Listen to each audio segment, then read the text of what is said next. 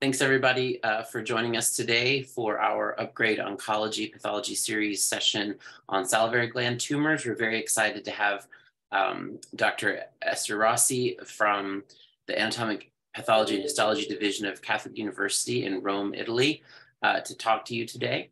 Uh, as always, uh, we are recording the session. It will be available on demand after the session is over. If you have questions, please put them in the Q&A box. Um, and if you have technical problems, put those in the webinar chat. Um, I will now turn it over to Dr. Rossi.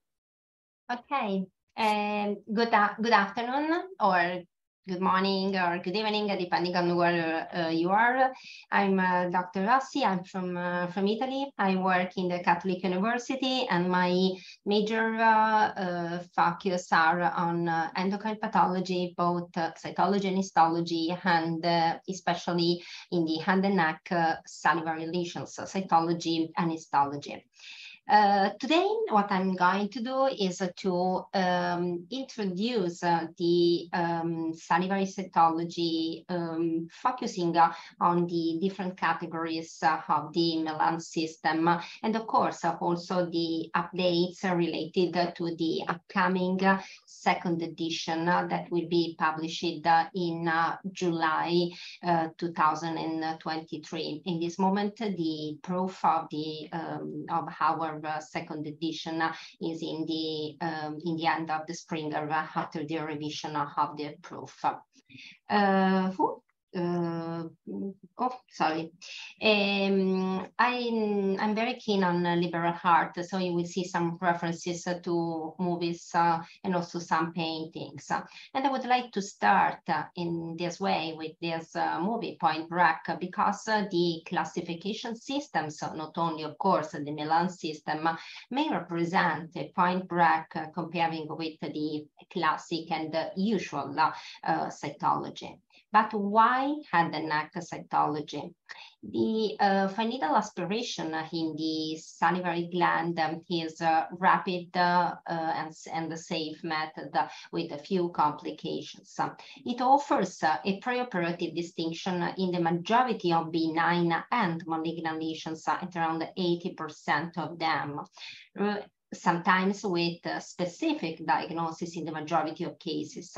And it also helped to reduce uh, the need for frozen section, and it represents a valid aid in the conservative management for benign and low-grade malignancies, but also more aggressive uh, or palliative treatment in um, high-grade lesions or, of course, metastasis.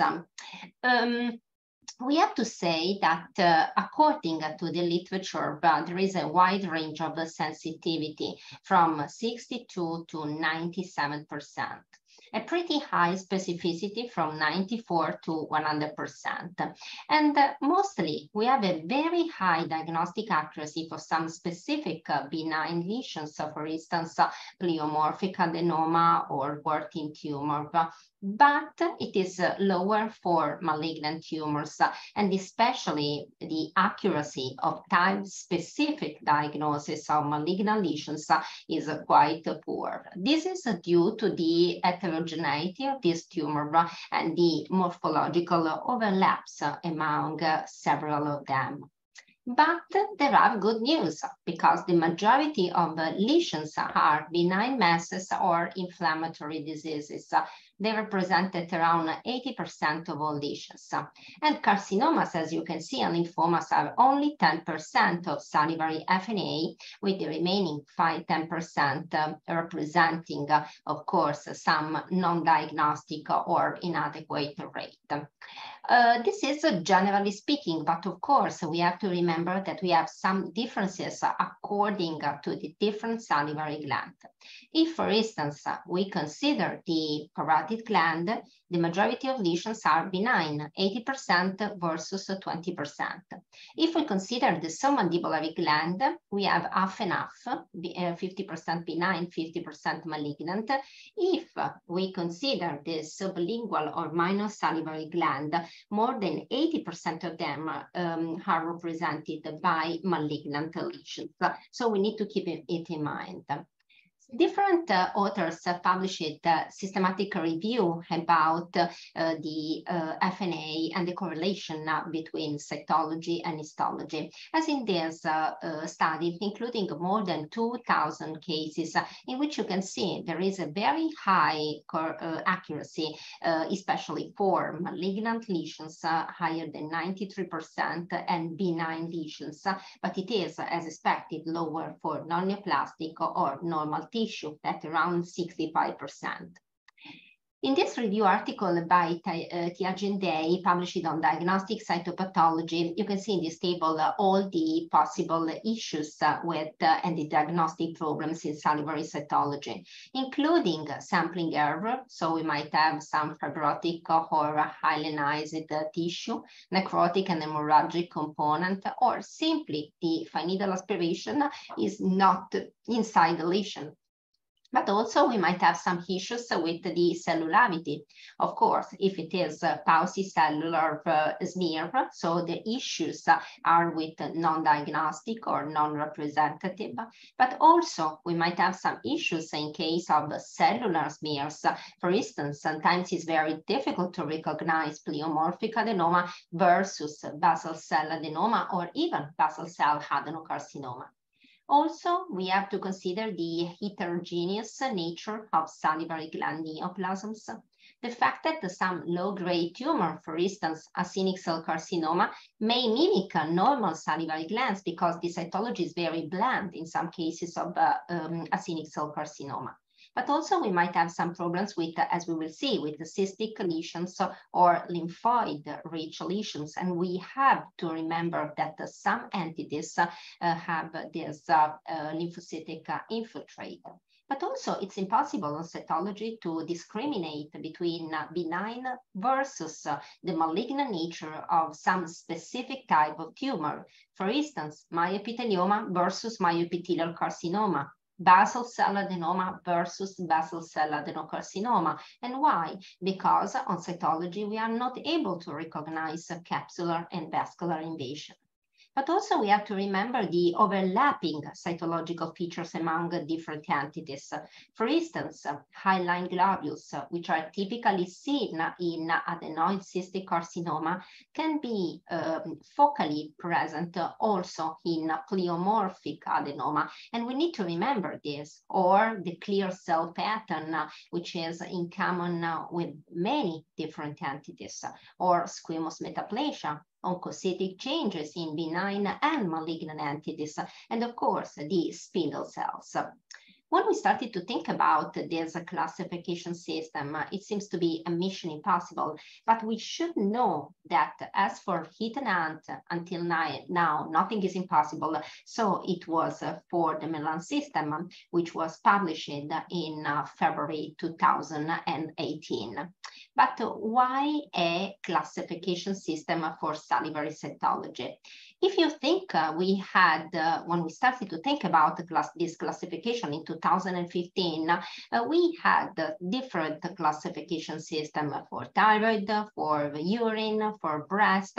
So we started to think about the idea for a classification for also salivary cytology. And if you think uh, since the end of the 18th century, also Lavoisier, a French chemist, underlined that in order to improve a science, we need to improve the language and the nomenclature related to, of course, uh, that science. But also more recently, Leopold Koss, one of the fathers of cytology, reported that the reports and the diagnosis should be expressed in a simple language that can be easily understood by the clinicians. So try to improve the, of course, communication. And um, also in different uh, papers, uh, uh we had uh, this uh, frequent question, is it time to adopt a classification for the parotid, but in general for salivary cytology?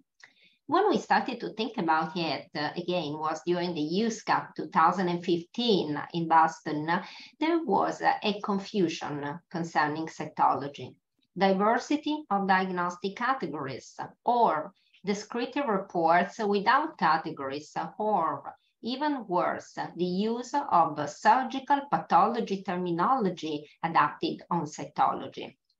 So when we started to think, it was uh, uh, one of my ideas uh, during uh, the um, during a dinner uh, in the lobby of the Hilton. So you can imagine uh, what can be done also in in a bar. There was among us there a general agreement on the need for a defined set of diagnostic categories for salivary cytology for different reasons. First of all, improving the communication, which means at least improving also the cancer risk, but also improving the exchange of data across the different institutions. So try to try to speak a common language. This was the beginning of the Milan system. But why Milan? Because the first meeting of the core group of the Milan system was during the European Congress of Cytology, which likely, I have to say, in 2015 was held in Milan. So as for the Bethesda thyroid and the Paris system, we decided to use the name of the place in which we had this first meeting. The Milan system is a um, classification system sponsored by the American Society and the International Academy of Cytology. In our intention, Dr. Faquin and I, but all the, mm, of course, authors of the Milan system wanted a practical classification system that would be user-friendly and internationally accepted. The uh, system is an evidence-based system with a useful format for the clinicians. We started analyzing all the papers um, published since 1980 to 2017 when we uh, finished uh, the revisions of the atlas. And uh, the classification system and the risk of malignancy, of course, for the different categories were refined according to the literature. There are several benefits when we think about a uniform classification system, not only for salivary cytology.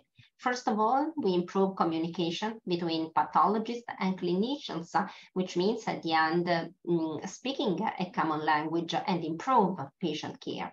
But also we, uh, it, uh, it is able to facilitate the cytohistological correlation and of course, promote also research uh, into the different field, epidemiology, molecular biology, pathology, and the diagnosis. And also foster sharing of data from the different studies, from the different laboratories for collaborative studies. In this moment, there are several studies uh, concerning the Milan system, including uh, the different institutions involved in it. This is the core group, and this is during the meeting in Milan. We have two editors, Dr. Faquin and myself, uh, the two on the on the left, and then several uh, associate editors from all over the world. We try to be as much inclusive as possible. And this is the classification proposed with, as you can see, six diagnostic categories, so that we are going to describe non-diagnostic, non-neoplastic, atypia of undetermined significance AUS, neoplastic benign and uncertain malignant potential SAM, suspicious for malignancy, and malignant. This is the general scheme of the Milan system. We have more than 40 contributing authors from all over the world. The majority are cytopathologists, but we have also surgical, molecular pathologists, and, and the next surgeons. This is the general scheme, including 10 chapters.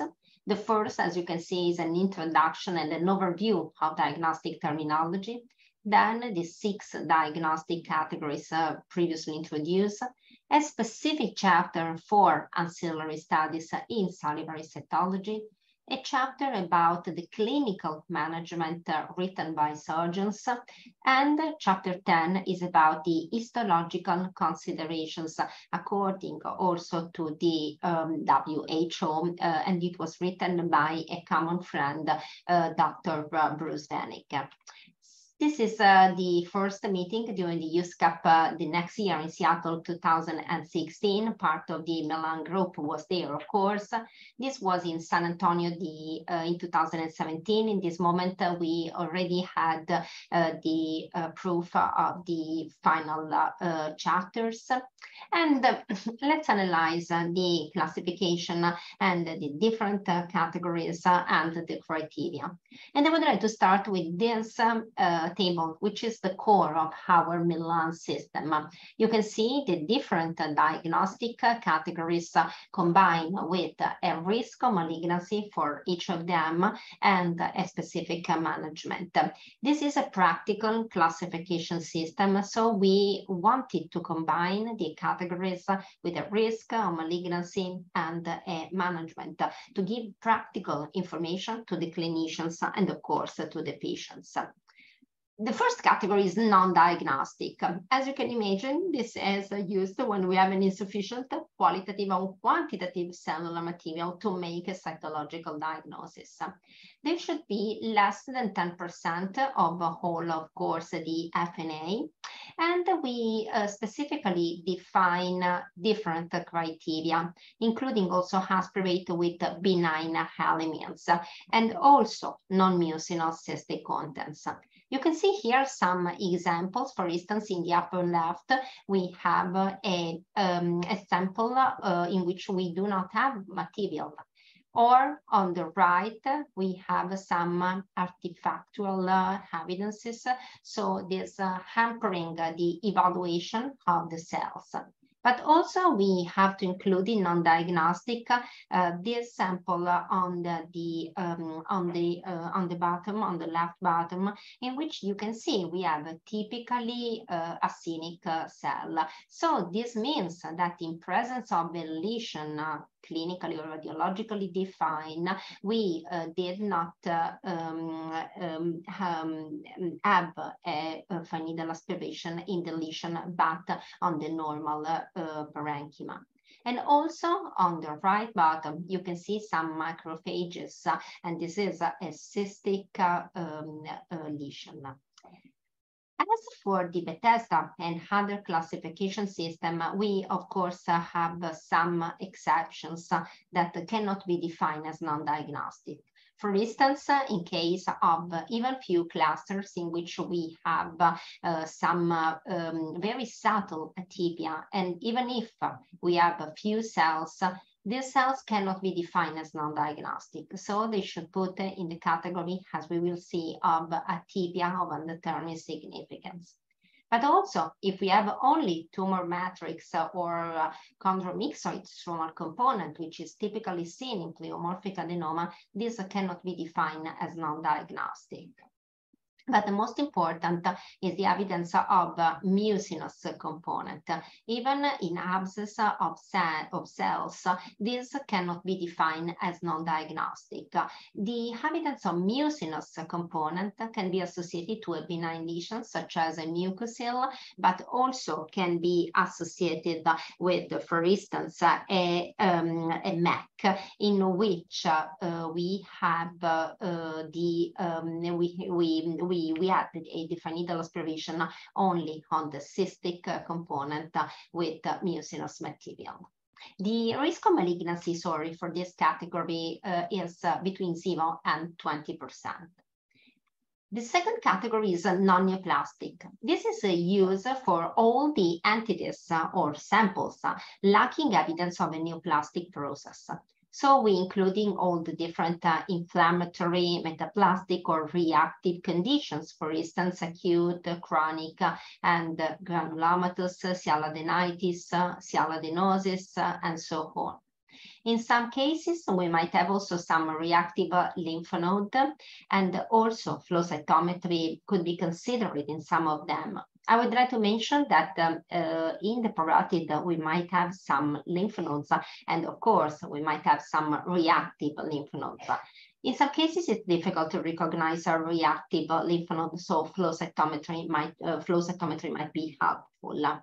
It's essential for this category a clinical radiological correlation in order to ensure, of course, that the sample is representative of the lesion.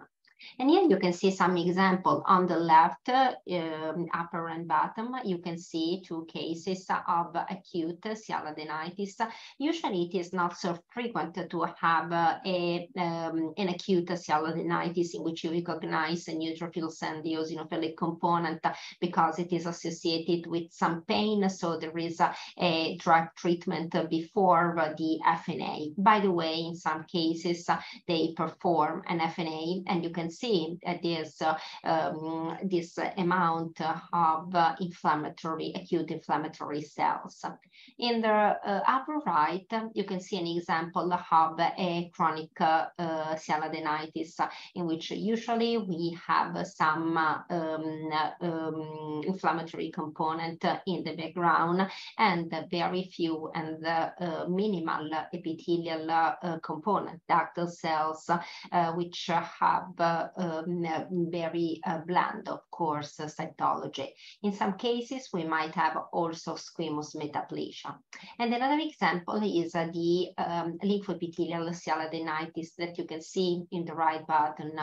Um, it is not so difficult to recognize this entity because usually we have a small lymphocytes and epithelial cells with the squamous metaplasia percolating, percolated by these uh, small uh.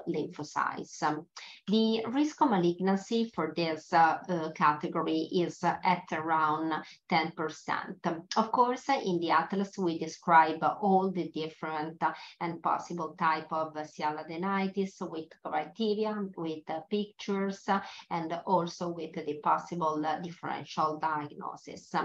But let's move to the most uh, uh, tricky category, which is the atypia of undetermined significance. This category was uh, introduced uh, as uh, um, based on the same example from the thyroid, from the Paris, uh, and so on. Usually we included cases um, in which we have limitations in quality and quantity. And of course, the few cells uh, that we have uh, due to the nature of the lesions or due to the FNA uh, might, um, are, might um, have some issues in the identification as reactive or neoplastic. And in fact, we cannot exclude a neoplastic condition. So basically, this is an heterogeneous category in which, uh, due to these uh, limitations, uh, we are not able to recognize as reactive or neoplastic. The majority, by the way, will be reactive atypia at the end, or maybe fully sampled neoplasms. Sometimes uh, we have a few cells or samples that are compromised due to a drying blood clot, so we are not able to recognize the morphology of the few cells. By the way, this category should be less than 10% of all needle aspiration. So we want to avoid that this is a waste basket and you put there uh, uh, whatever. Uh, here you can see the uh, some of the criteria, but I would like to introduce them with some specific example examples like this. For instance, um, in the upper left, if you have very few cells uh, as this, which are enlarged with some pleomorphic and irregular nuclear membrane, but we have a few of them very isolated. So, um, and it's not enough to describe this as neoplastic plastic, we have to describe this as atypia of undetermined significance, which in the majority of cases will means that it's not enough, the material, and maybe uh, it will be repeated, of course. But also we might have a very scant epithelial cluster like this with this epithelioid appearance, and so not enough for a neoplastic diagnosis. And mm, for this reason, we use the category of AUS. But also in the bottom, on the left and right, we might have a few oncocytic cells. Here, a few cells, just two, with lymphocytes. Maybe this might be a Warthin, but we have really only two uh, cells, which are not enough. Or another cluster in which we have uh, more evident oncocytic features. But I would like to stress again the previous uh, uh, concept. if we have, uh, as in the um, upper left, this mucinous material, we have to put the mucinous material alone in the category of AUS, because again, this might be a mucocele, so a benign condition, but also a mucoepidermoid carcinoma. In the same category, we might put these uh, few cells, for instance, in which you can see we have uh, a moderate cytoplasm, a fusiform spindle appearance, but they are not enough for any uh, further characterization or also a single cluster of squamous cells. Again, this might be squamous metaplasia in a benign condition, but also a single cluster in the context of a squamous, for instance, malignant entity the um, the risk of malignancy for uh, this category is uh, at around 20%. So between the risk of malignancy in the non-neoplastic and in the neoplastic uh, category. For the neoplastic category, we decided to subclassify these lesions into two different groups. Benign neoplasms reserved for clear-cut benign neoplasms. So for this reason, lesions in which we have a very high specificity for diagnosis such as pleomorphic adenoma, Warthin tumor, and salivary gland neoplasm of uncertain malignant potential. In the benign neoplasm, we included pleomorphic adenoma, Warthin, oncocytoma, and several soft tissue tumors, uh, lipoma, schwannoma, lymphangioma, for instance, and hemangioma. You can see here two examples of pleomorphic adenoma. In the uh, upper uh, picture, we have this uh, chondromyxoid stromal component, uh, which is a cellular uh, chondromyxoid stromal component with myoepithelial cells. Or uh, in the bottom, we have a detail from a pleomorphic adenoma with some sort of squamous metaplasia. Other examples in the upper part again, the chondromyxoid stromal component with these uh, feather edges, and you can see many myoepithelial cells in it with this uh, spindle and fusiform appearance. In the bottom on the left, we have an example of oncocytoma in which we have uh, a diffuse um, uh, evidence of oncocytic cells with these centrically located nuclei and eosinophilic cytoplasm, but in the right, we have an example of Warthin, uh, dirty background, lymphocytes in the background, and these clusters of oncocytic uh, cells. This is another example of Warthin in which we have this dirty uh, and cystic debris, inflammatory cells and lymphocytes, and of course the oncocytic uh, clusters. These are the three most important uh, elements that we have for Warthin tumor. In the same category, neoplasm, we included the SUMP. The definition was uh, as diagnostic of a neoplasm, neoplasm. So in these cases, we are not in doubts about uh, a neoplastic condition. However, a diagnosis of a specific entity cannot be made due sometimes to the nature of the lesions and an FNA. And furthermore, also because we are not able to recognize the capsular, for instance, and vascular invasion, a malignant neoplasm cannot be excluded. In this category of sample, we included several different entities. Cellular benign neoplasms, such as cellular pleomorphic adenoma, neoplasms with monomorphic lesional cells, myoepithelioma, basaloid neoplasms, oncocytic neoplasms, or neoplasms with some atypical uh, features, uh, and also, of course, some low-grade carcinomas, which for which it's very difficult to bear, uh, identify um, directly on cytology. By the way, due to the complexity of SUMP, we decided to subclassify it in three different groups basaloid, oncocytic, and clear cell features neoplasms, especially because uh, we focused not only on the cells, but also, as you can see from these tables, uh, um, on the differences in the background.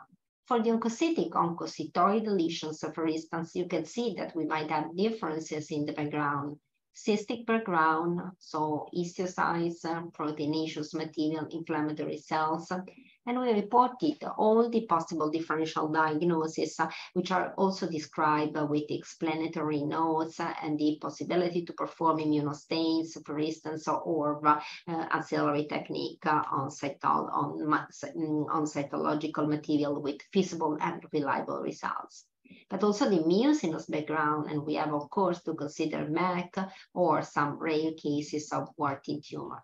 Blood or no specific background, but also granular and vacuolated uh, cytoplasm, for instance, and you can see here mostly malignant entities, uh, acinic cell carcinoma, secretory carcinoma, and metastatic renal cell carcinoma but also approachable focal nuclear atypia, so some uh, oncocytoid appearance uh, with focal uh, um, nuclear atypia, salivary duct carcinoma, high-grade MEC, metastatic carcinoma. And we did the same for the basaloid group. Basaloid neoplasm with the fibrillary stromal component, and you can see the differences, or uh, basaloid with hyaline stromal component, or with mixed or other stromal component, or of course, also we might have some basaloid neoplasm with a scanter non-stromal component. And we reported all the possible and different differential diagnoses. Here you can see some examples. In the upper left, we have this large cluster of basaloid cells and this haphazard organiza organization of the cells, no um, polarity. And also you can see the scant cytoplasm and the round oval nuclei with this basaloid appearance. In the upper right, we have the clear cell features. You can see there's a sort of backwards and clear appearance of the cytoplasm. And in the bottom right, um, left and right, you can see some oncocytoid features in these uh, clusters. The uh, other, the risk of malignancy for the uh, SUMP is at around 35%. Another category is uh, suspicious for malignancy. Usually we decided to use uh, this category in order to, of course, uh, uh, reduce the number of um, in, inadequate diagnosis for malignancy. The risk of malignancy for this category is at around 60%. And mostly we included in this category aspirate, which are highly suggestive of malignancy, but due to limitations in quality and quantity, it's uh, not possible to provide a definitive diagnosis of malignancy. Often high-grade carcinoma with limited sampling or other limitations, but of course, not only, because we included, of course, also other entities. Basically, we can say that the suspicious for malignancy together with the SUMP and AUS is part of the indeterminate categories, as for instance, the different indeterminate lesions in the Bethesda. And you can see Bethesda target, and you can see that there are important differences between among AUS, SUMP, and suspicious for malignancy. Whilst in AUS, we have a few cells in we and for these cells, we are in doubts about a reactive or neoplastic nature of the cells. In SUMP, we are sure that this is a neoplastic condition, but we are not able to discriminate between benign or malignant neoplasm. neoplasm. In suspicious for malignancy, we are pretty sure that we have features of malignancy, but we are not completely confident due to the limitations uh, in a definitive diagnosis of malignancy. Also because I would like to remember that the, a diagnosis of malignancy is uh, associated with, of course, a more aggressive uh, treatment. Instead of reading all this, uh, I would like to show you the pictures uh, and the criteria that we introduce. For instance, in the upper left, you can see few cells uh, with the pleomorphic and irregular nuclei, very few, but very uh, irregular, so they should put as a suspicious for malignancy.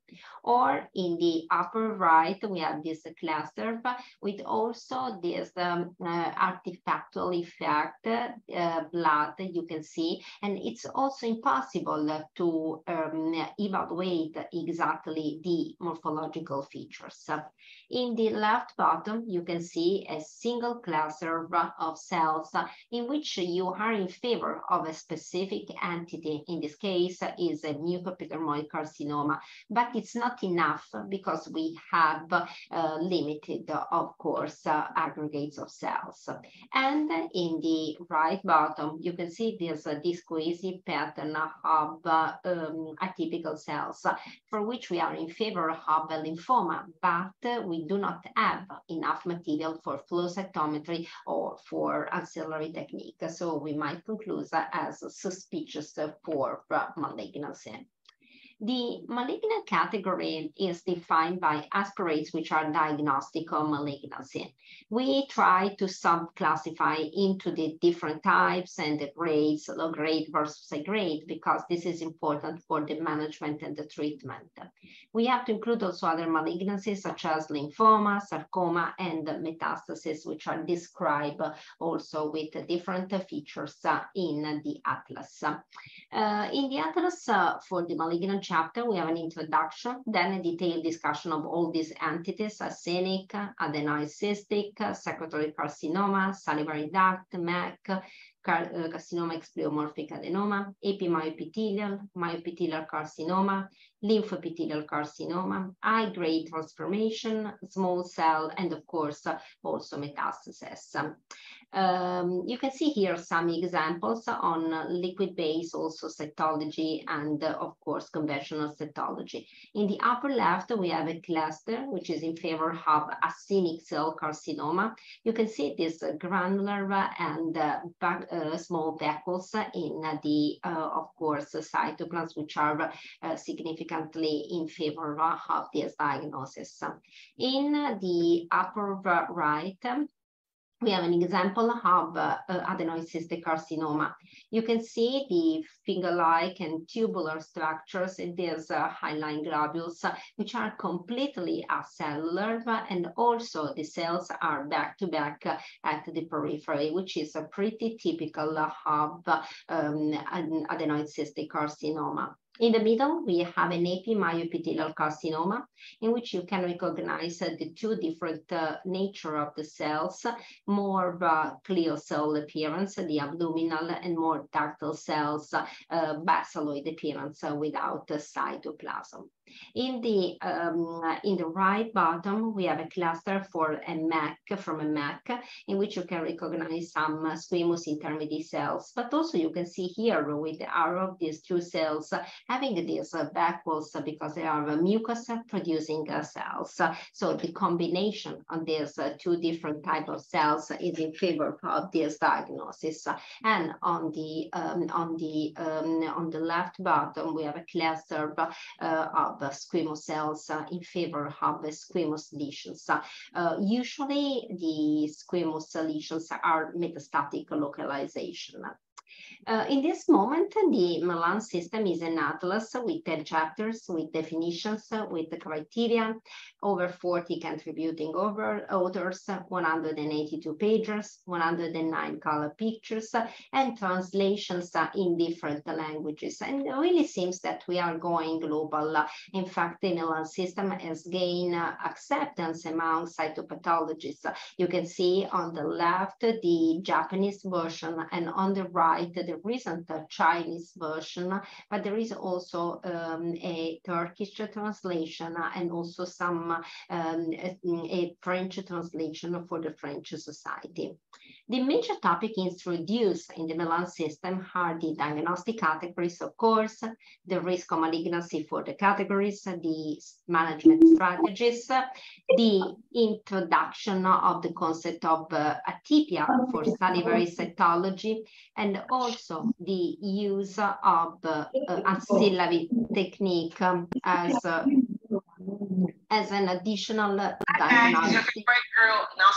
Okay, some people don't get side chick. What? They for parts. Eh? Where go take move. You know I want to talk. Say then he's free to move because I rather make him move than Sorry? you.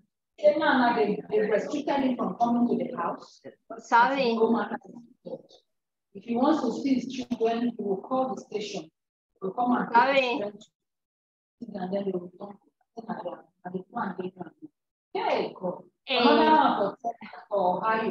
Excuse me. Excuse me. excuse me, may I continue or not? Um, over the, uh, since the publication, over 100 cytological papers have been published, confirming the risk of malignancy for the diagnostic categories with a growing acceptance by the clinicians, and it was recently endorsed by the ASCO. Of course, to confirm the role of the Milan system, we have uh, different meta-analytic studies. Uh, One of them was uh, published by Professor Belch on diagnostic cytopathology, including more than 18,000 of cases.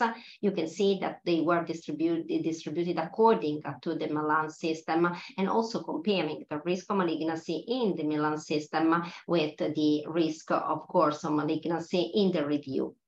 Uh, recently, they published also a second review starting from a case and uh, um, based on the fact that the clinicians in a, a revised uh, case asking uh, asked them for uh, the classification of this consultation into a Milan system category. This was the occasion for the revision of the literature, which was extremely useful for the second edition of the Milan system. So in this golden age of the Milan system, why a second edition? Why a postman should ring twice? Because this is an evidence-based system. So the second edition, which is expected uh, for, it would have been expected for fall 2022, then uh, uh, it is July 2023, uh, will include new chapters, also a chapter about ultrasound, new and more authors, more pictures. uh, we replace uh, more than half of the pictures. The revisions uh, of the chapters with the um, with the WHO uh, and the NAC 2022 updates. The changes in the risk of malignancy, and of course updates in the ancillary chapter due to the new genetic alterations. Um, and uh, um, this is the new uh, curve and the new uh, distribution of the different diagnostic categories with the risk of malignancy and the management. We had, of course, some changes uh, for some of the categories. You can see uh, for the uh, neoplastic benign, a lower risk of malignancy, higher for suspicious for malignancy, 83%, and almost 100% for the uh, malignant category. The problem, uh, one of the problem was mostly for the category of atypia versus neoplasm. If we had to stay with this category or to uh, change, we decided according to the literature to maintain the subclassification into uh, for the indeterminate categories. So we include we are including also in the second edition the uh, concept of atypia and the subcategory of neoplasms uh, subclassify into benign and SUMP. This is a table from the Milan system uh, second edition in which you can see that for the atypia of undetermined significance, we are firstly subclassified into cystic and non-cystic. For cystic, mucinous, and so including the all the non-neoplastic and neoplastic entities. And for the non-mucinous, we have to specify if we have lymphocyte, if we have epithelial component, and all the different type of epithelial components. So if squamous cells, oncocytic cells, basaloid, acinic or spindle. And also for non-cystic, we have to consider a typical lymphoid proliferation and epithelial cell predominant with the same subclassification that we had in non-mucinous. We have to say that the average risk of malignancy now is at around 34%. Of course, this is based on the surgical follow-up and from the, from the series in which we have a surgical follow-up. Risk of neoplasm is at around 63%. We introduced the concept of risk of neoplasms. Then we introduced new tables uh, with the definition of the different scenarios and differential diagnosis. This is important because different type of AUS are associated with different risk of neoplasm and risk of malignancy. And new sample reports for the category of neoplastic benign, this was used again for the classic benign neoplasm. The risk of malignancy now is lower than 3%. We included pleomorphic adenoma, Warthin, Warthin lipoma, and schwannoma. We excluded the oncocytoma. These are the two examples of um, pleomorphic adenoma and Warthin tumor. For the SUMP, we stay with the definition, but in this case, the risk of malignancy, according to the revision, is lower, is at around 26%. And we again stay with the inclusion of benign neoplasm and some low-grade carcinoma. But as we have a different type of the same SUMP and has uh, Peter Sellers uh, perform different uh, uh characters uh, in Dr. Strangelove, we have, uh, we decided to introduce uh, apart from the basaloid oncocytic and uh, clear cell neoplasms, also a fourth category, which is uh, a, a, category of mixed features, because it's not always black or uh, white, and we have the different shades of gray.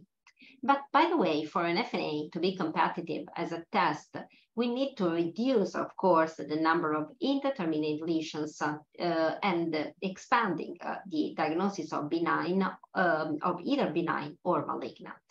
For instance, in this case, based on morphology alone, we can also, we can say that this is a SUMP and it's only with the support of ancillary technique and with immuno that we are able to classify this lesion as a malignant and in fact it was an acinic cell carcinoma.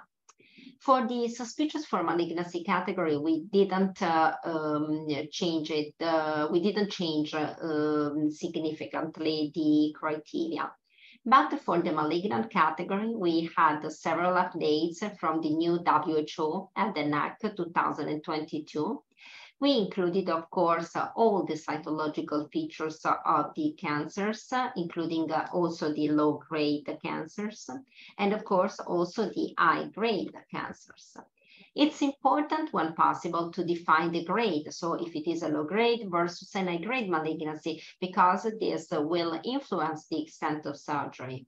A radical resection versus a limited resection, neck dissection, and facial nerve, of course, sacrificed. We published a paper uh, on cancer cytopathology, including uh, 66 uh, FNA cases of salivary carcinoma. They were reviewed by an international panel of 19 cytopathologists. And you can see that we have a very high um, overall uh, uh, accuracy, grading accuracy of 90%, especially for high grade and low grade entities, and especially for MEC. but it was uh, impossible to classify the, the indeterminate categories we decided also to stay with the chapter of ancillary technique, mostly due to the recent advances in the genetic alterations. And also according to different papers like this by Dr. Joe, reporting that all the possible technique, immuno, fish, sequencing are possible on cytology, on the different cytological material with feasible and reliable results. For the immuno, we prepared the different tables for, you can see the oncocytic pattern with all the entities, benign and malignant, and all the possible uh, immunostains. We did the same for the basaloid pattern, including benign and malignant entities. And of course, for clear cell features, benign and malignant entities are the most important uh, uh, markers. But we have to remember that uh, we might have also some metastatic localization. And of course, there are some specific uh, immunostains uh, which are associated with the possible site of uh, origin. This is from the Milan 2 and Dr. Belloch, and you can see that uh, all the different uh, um, entities, uh, including not only malignant entities, might have some specific genetic alterations, uh, rearrangement, fusions, amplification, uh, hotspot mutations, which are in some cases associated with 100% of them. For instance, you know that in secretory carcinoma, in 100% of the cases, we have the uh, ETV6 and TRK3 uh, fusion, which is uh, peculiarly associated with this secretory carcinoma. We also introduced the new genetic alteration studied in salivary cytology. For instance, the fact that the epimyoepithelial carcinoma X pleomorphic adenoma might have PLAG1, HMGA2 expression, but also RAS uh, Q61R the role of NR4A3 upregulation in acinic cell carcinoma, MUC4 in secretory carcinoma, or ALK fusion in random high-grade salivary gland and intraductal carcinoma, NOTCH1 in adenoid cystic carcinoma 10%, but also the recurrent MEF2C SS18 fusion in the microsecretory adenocarcinoma of the oral cavity.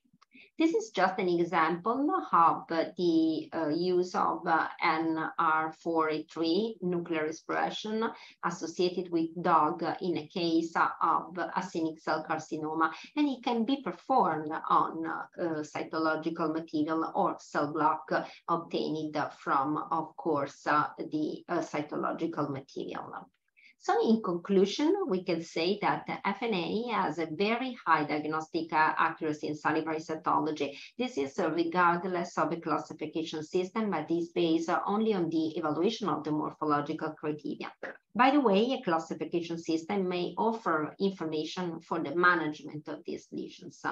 There is an improved relevance of the Milan system and also the uh, availability of new immunomarker and molecular profile um, had a significant impact uh, on cytology and uh, on the Milan system, because in this way we might increase the accuracy of, of fine needle aspiration, especially when we need to move a case from SUMP to malignancy or uh, to uh, specific entities.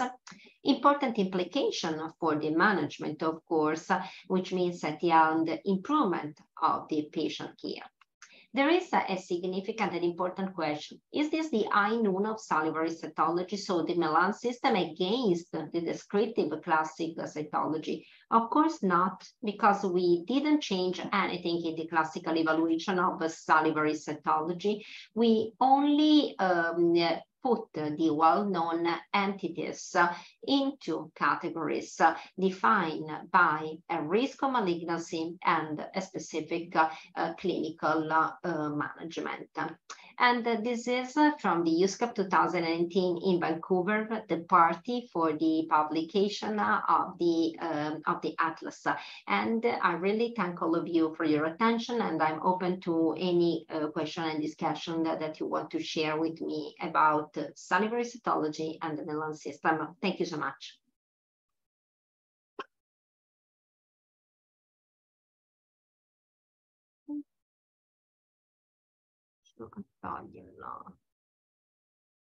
No, condivisione. Э,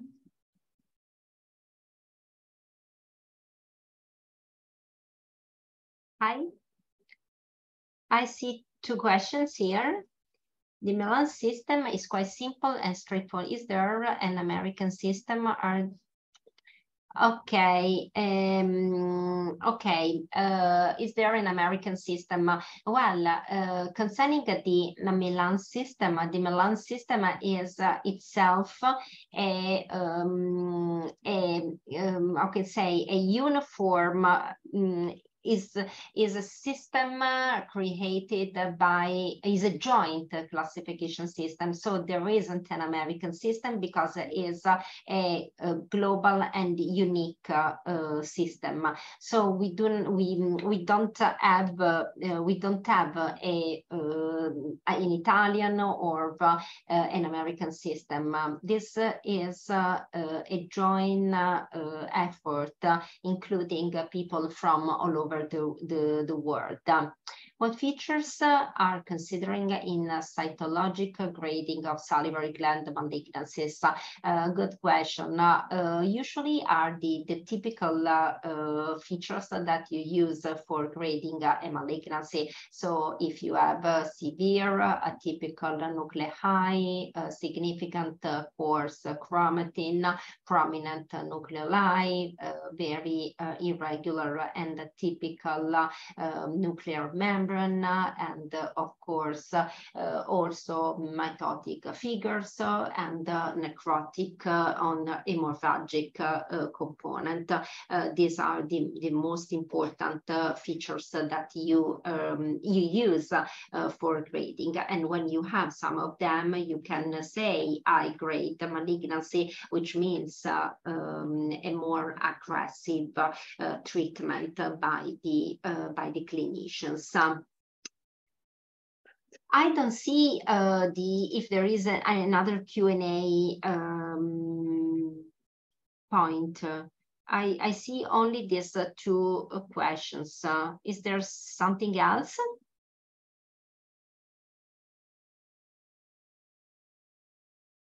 Dan? No, I think that was all the questions. Um, so again, thanks so much uh, to everybody. Unless there's any more questions, yeah, thanks so much to everyone who participated. Again, the recording will be available um, in uh, probably by tomorrow for those who want to listen to it again. Um, and uh, I think that there is another question. Ah, no, thank you very much. No, just okay. thank you very much. Um, and so we will see all of you again on Thursday. Okay.